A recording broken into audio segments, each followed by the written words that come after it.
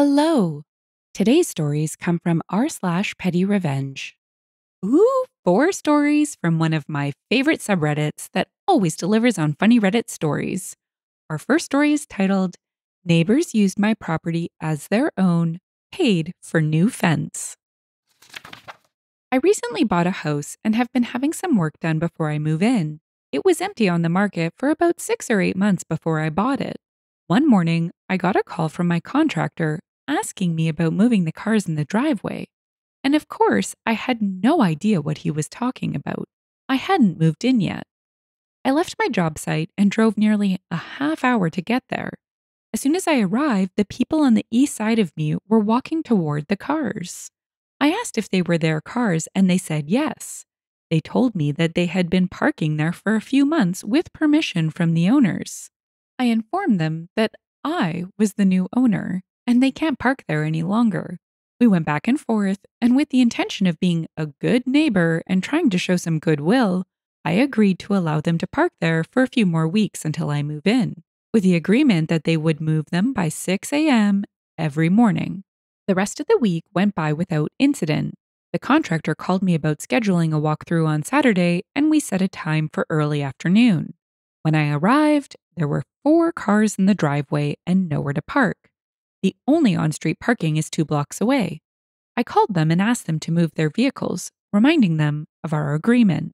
After 20 minutes, they finally came out and moved them. Speaking with them, they claimed to have misunderstood and thought our agreement only referred to weekdays and not weekends. I corrected them and moved on. Sunday morning, I grabbed a trailer and loaded some furniture to take over and store in the garage. Once again, there were cars in the driveway. I called them and got voicemail.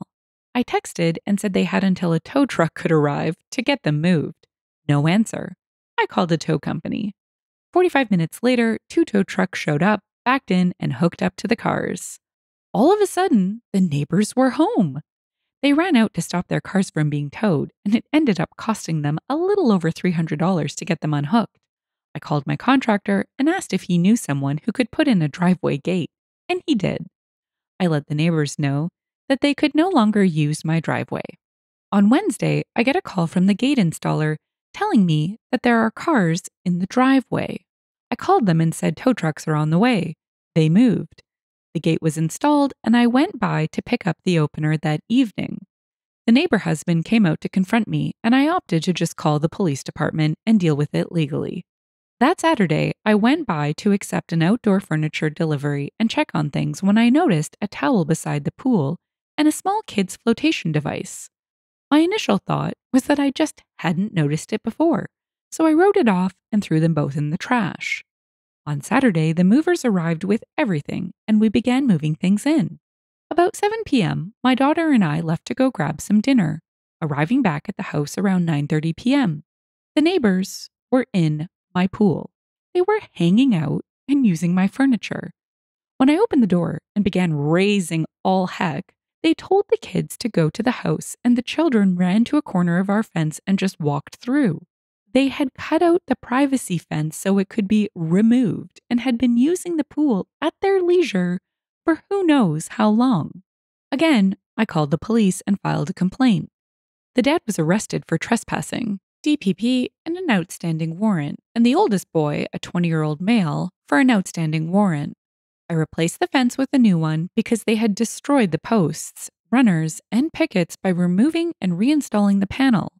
Small Claims awarded me the total cost of 83 feet of 8 foot privacy fence, which came out to $3,800. The following Monday morning around 5 a.m., their cars were parked in the street where there's no street parking, so I made a phone call. They were gone when I left at 7 a.m. I haven't been paid yet, but I did notice a for rent sign in their yard this morning, so that's just as good. Good riddance. Edit update 1.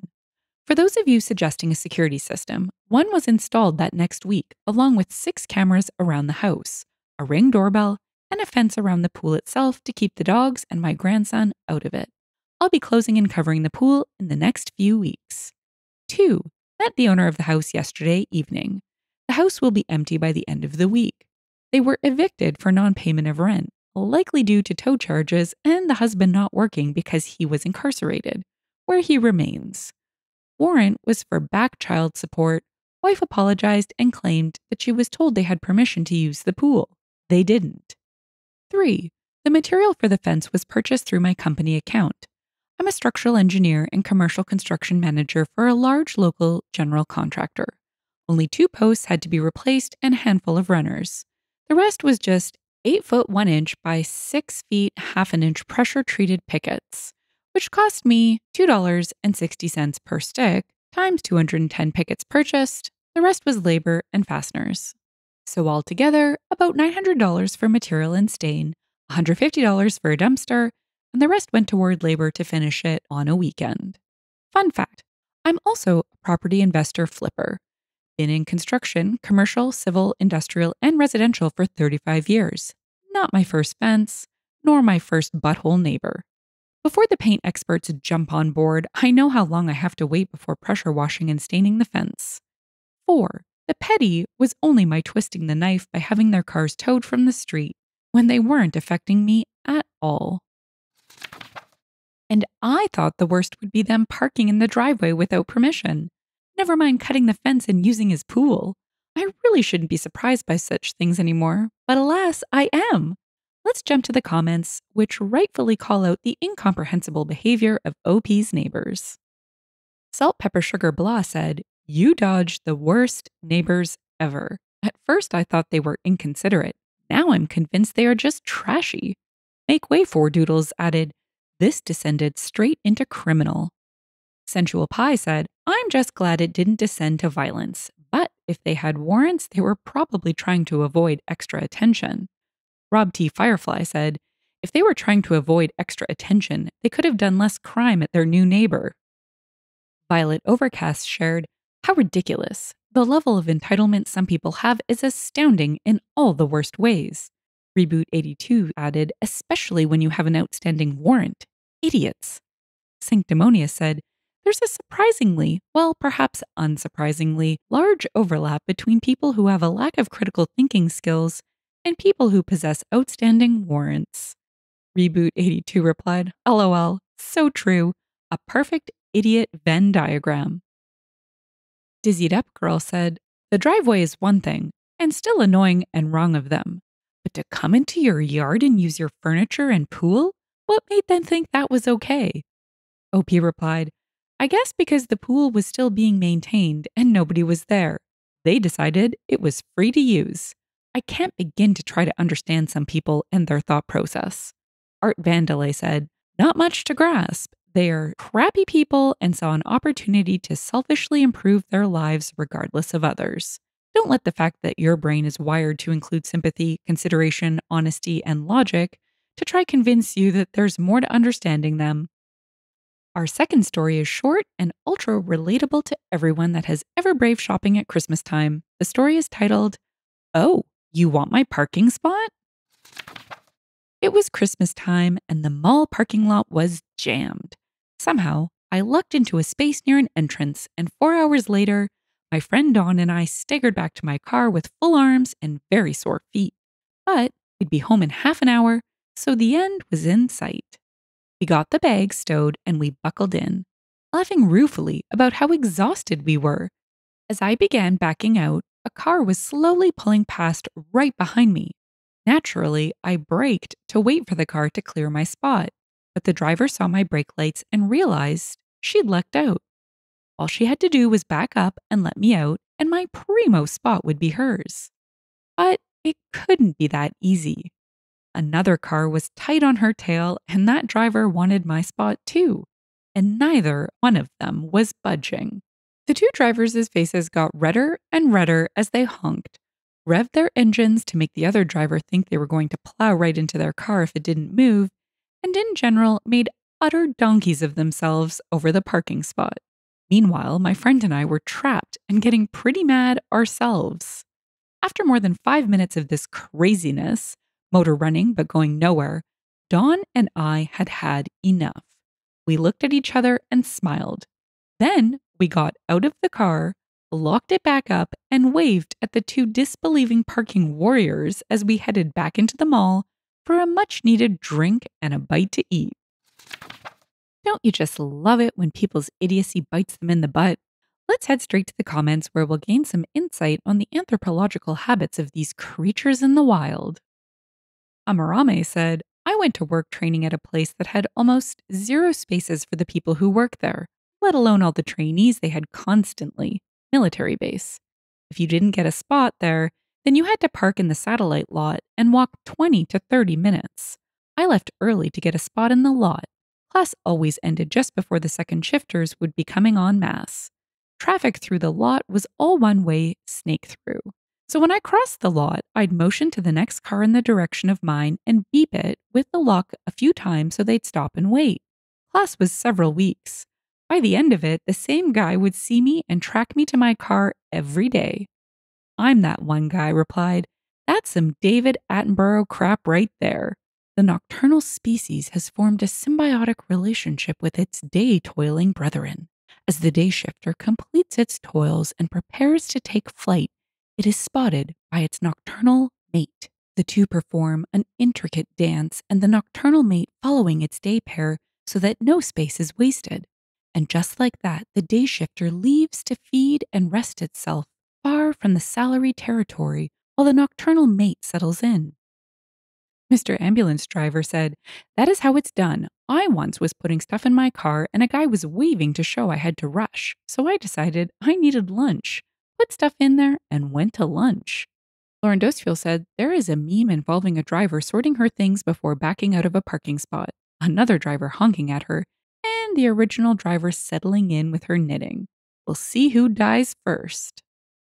Our third story might be my favorite of the day the smug pettiness of the other guy, the edit. Oh boy, just wait for it. The story's called Cut in Front of Me in the Dinner Queue. I hope you like ants. A few years ago, while traveling in India, I decided to try a 10 day silent meditation retreat. The retreat was out in the middle of nowhere and home to a large colony of the biggest and fiercest ants I have ever seen. As this was a Buddhist retreat, no measures were taken to get rid of them, and they were everywhere. When you turned on a tap, ants came first, then the water. That's not hyperbole. A couple of days in, my hard earned tranquility was shattered by another meditator who felt it his right to cut in front of me while waiting for our evening meal. The bastard even had the audacity to give me a little smirk as he did it, knowing I couldn't call him out on it. I could only glare impotently at the back of his queue jumping head. I was livid, to say the least. In the following meditation sessions, I couldn't concentrate on the practice. I could think of nothing but revenge. Luckily, I had a lot of time to think, and slowly a plan emerged. The following day, whilst making myself a cup of chai, I surreptitiously pocketed a large handful of sugar which I later dispensed into a half full water bottle, creating a lovely syrup. At the next meditation session, I made sure I was last in line to enter the building. Before you enter the building, you remove your flip flops and leave them outside. I made sure to mark my enemy's footwear as he removed them, and when I was alone outside, I joyfully doused them in syrup, being careful to avoid any innocent victim's shoes. After a few hours of peaceful meditation, we all began leaving the building.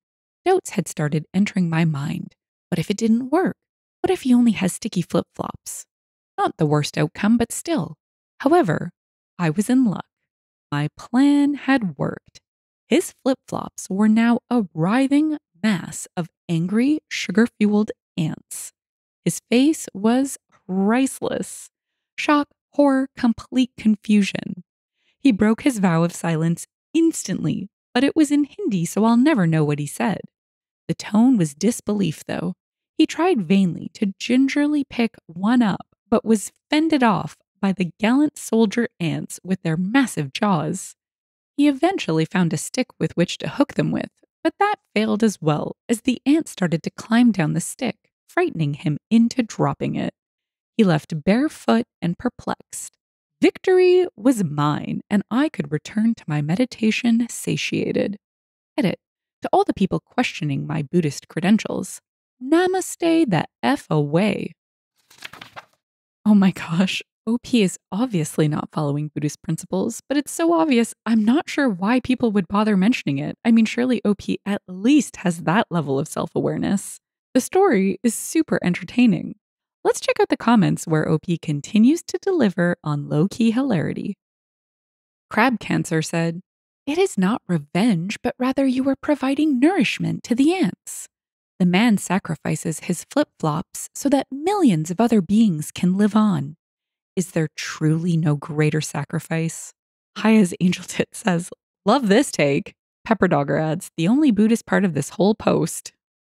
Around My Corner says, I will never get people skipping queues. Chairboy replies, If you are unencumbered by empathy, it's a winning move because you get the thing you want more quickly most of the time. We hope for karma to correct these situations, but the universe does not often cooperate.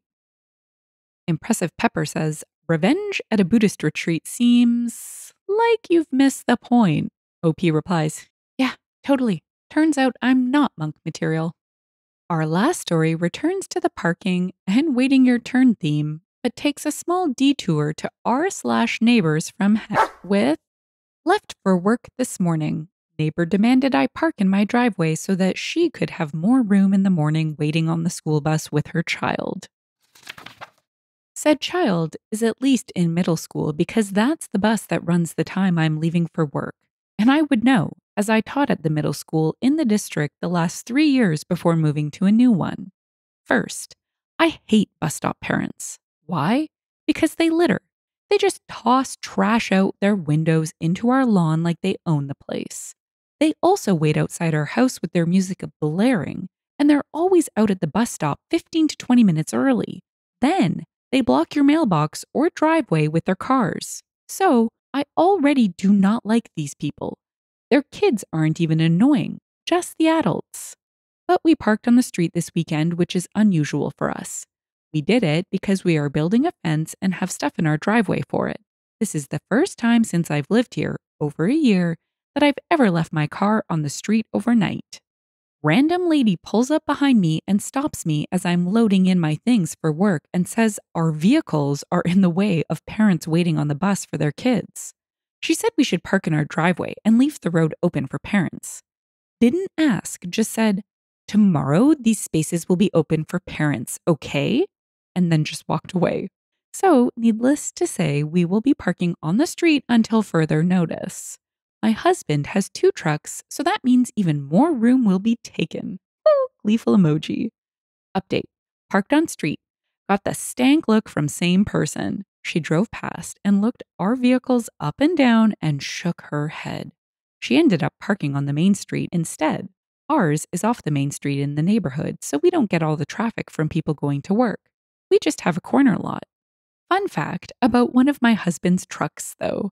It's a work truck from his company, so anytime you have to use public parking, such as street parking, you have to put a cone five feet in front and one five feet behind it per company policy, even if you're at your house.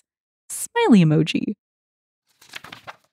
Yes, I love everything that OP is laying down here. You tell me not to use the spot in front of my house? Oh, I'll use it and some. Also, don't these middle school children have legs? Let's head to the comments for answers, where OP explains what the deal is with parents driving their kids to take transit.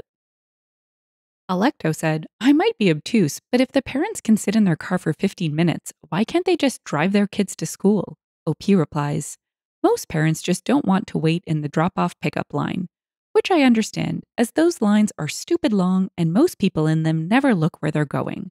But I almost got hit by parents in our parking lot multiple times trying to get from my car into the school building. Our principal almost got hit a couple of times just directing the traffic out there. Sky Ripa said, I don't understand why they're in cars. Isn't a bus stop for kids in the neighborhood? OP replied, We don't understand either. They did this last year too. They just sit and wait for the bus. They do it in the afternoon too. Kids here don't usually walk to the bus stop, which is weird because I grew up one neighborhood over, went to the same school, and I walked to the stop all the time. Tuint said, I think my mom walked me to the bus stop for like the first eight days of kindergarten. Comfort Munchies replied, Some places you have to for K4, K5, and first grade, or the bus driver won't let them on off the bus. And most times, to get them off the bus, they give you a card you have to hold up so the driver can see it before they'll let them off the bus at all. If you've enjoyed the story and would like to hear more, consider liking, subscribing, and leaving a comment. Thanks, and bye for now.